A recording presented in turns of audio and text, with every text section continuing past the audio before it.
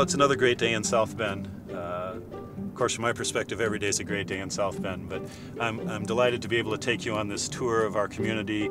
Uh, a lot of things that we want to highlight today as we drive around the city, uh, the University of Notre Dame, Innovation Park, Ignition Park, uh, downtown, uh, lots of activity going on here, a lot of good energy as people are optimistic about things that are moving forward in the city of South Bend. South Bend is the next big thing in technology. We do speak tech here. We, we know uh, creativity and innovation. We know how to make things. Uh, we know how to invent things and take them from the idea stage to uh, production and to real products that earn capital in, in the open market.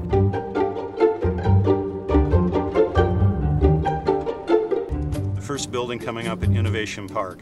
And Innovation Park is part of our two-site technology park, the only two-site technology park in the state of Indiana. Uh, we have a smaller campus here just south of the university where a lot of the initial research goes on and then they move forward to a place where an idea really has an opportunity for commercialization. Uh, that's the step across the street then to Innovation Park and an opportunity for uh, for grad students and professors to refine those ideas, to work with uh, private sector partners, to bring in angel investors, uh, all of those components that are so critical, uh, really locating right here in South Bend. The elevator core is going up for the first hotel. The parking structure the city actually constructed as part of the development here. It was our uh, commitment to enhance this and, and help it to move forward with the private developer. Just uh, beyond it, the IU School of Medicine, a new wing coming on that is partly funded by a donor to the university as well as state dollars, and that will be a site for cancer research and really tie into Innovation Park. So as we come back down to Notre Dame Avenue, we'll turn onto campus and head toward the famous Golden Dome that is such the trademark for the University of Notre Dame. What has really been exciting for me over the last number of years is the university's strong commitment to research and development here. A new Stinson-Remick Hall for engineering with a huge clean room in it that is uh, a great development and a great investment on the part of the university. And that was really one of the key components in Notre Dame being named the Midwest Institute for Nanoelectronics Discovery. Uh, this is the fourth nano institute in the country and the final Nano Institute. It's supported by all the large chip makers who are looking now to discover the successor to the CMOS, the uh, silicon chip that powers all of our computers and electronics.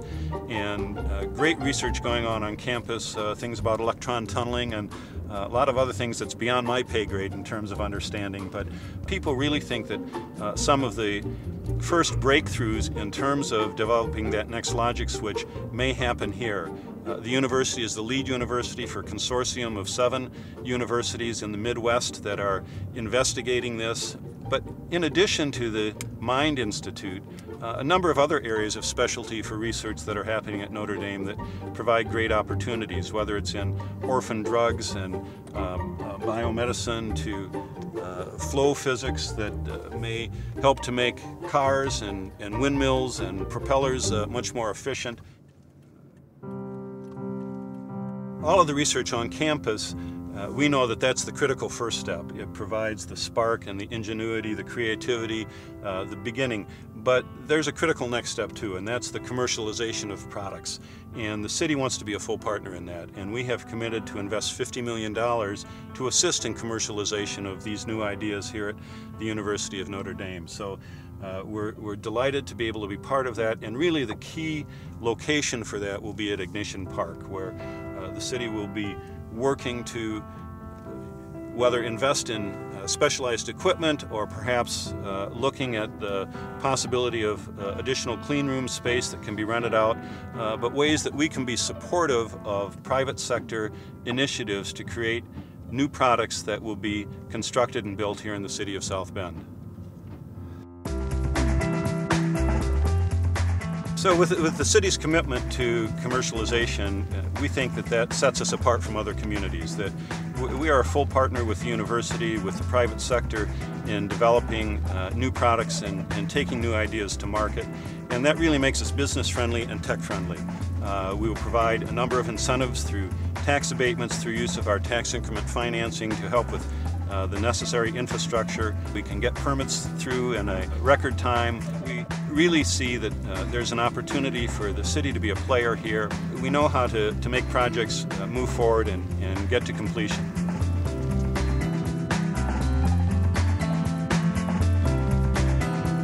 Coming up on Eddy Street Commons now, which is a, a, great development that is the result of a lot of planning between neighbors, the university, uh, institutions in the area. Uh, we really wanted to have a center where the community and the university could come together. And so uh, I, am so excited about this, about a $220 million development with 80,000 square foot of retail, 80,000 square feet of office space. Ultimately, there'll be 400 residential units here from uh, loft apartments to new condominiums to townhomes to city homes, and it really is changing the face of uh, the city of South Bend. It's a great place where community and university come together. We're just down the street from Innovation Park, and we think that there'll be a lot of energy here as researchers are here having a cup of coffee and uh, meeting with neighborhood people. Uh, that whole mixture of different ideas and different backgrounds that really stimulates our imagination and has really been kind of the trademark of South Bend. As we come into downtown in our, our, East Bank neighborhood, which is a arts and technology area for the city of South Bend, uh, it reminds me that people always say what's important is location, location, location. And that's true not only at the local level, but also at the national level. Uh, South Bend is uniquely located. Uh, we're 90 minutes from Chicago, we're on 8090, great transportation corridor. We're, we're within 41 million people overnight from the city of South Bend, but more importantly, uh, we are able to contact people instantly uh, with our MetroNet, a loop of dark fiber in the city of South Bend that creates great broadband capacity uh, for business, for research, uh, to move forward. One of the great things about uh, South Bend's neighborhoods is so many of them relate to the river. Uh, St. Joe River just over here. We've got a wonderful river walk that goes along it that people really take great advantage of. This is one of our older historic neighborhoods, the Chapin Park neighborhood, and uh, one of the first suburbs, if you will, of South Bend. Um, great old Victorian homes here, a nice variety of architecture, uh, the brick streets that uh, are a little bumpy and uh, a little noisy, but uh, really give some great charm to these to these neighborhoods. Uh, it's just been so great to see uh, the people coming back to the city, loving the older neighborhoods, being close to downtown. Uh, there's a real sense of livability here. Uh, the pace of life is relaxed. Uh, although there's an energy about uh, all of the things going on in town. So it's, it's that great mix of, of both here in the city of South Bend. Many of our neighborhoods are so close to parks, uh, great quality of life and, and, amenities. I mentioned the river walks, uh, tennis center here at Leeper Park, our duck pond, great fly fishing. A lot of people come here to fly fish in the St. Joe River. And of course downtown we have our East Race Waterway that you can do kayaking and uh, rubber rafting on the, uh, the artificial whitewater rapids there.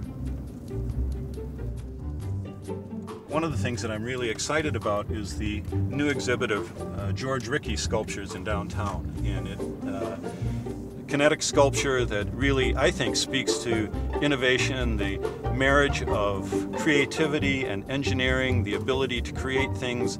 Uh, they are terrific sculptures that are so exciting, moving in the wind, uh, always changing shape and form. Uh, I think they're a great symbol for what we're about in the city of South Bend right now. Throughout South Bend's history, ideas are always changing tomorrow. That's happening now and will happen to an even greater extent as we move forward with Innovation Park and Ignition Park. And South Bend is booming.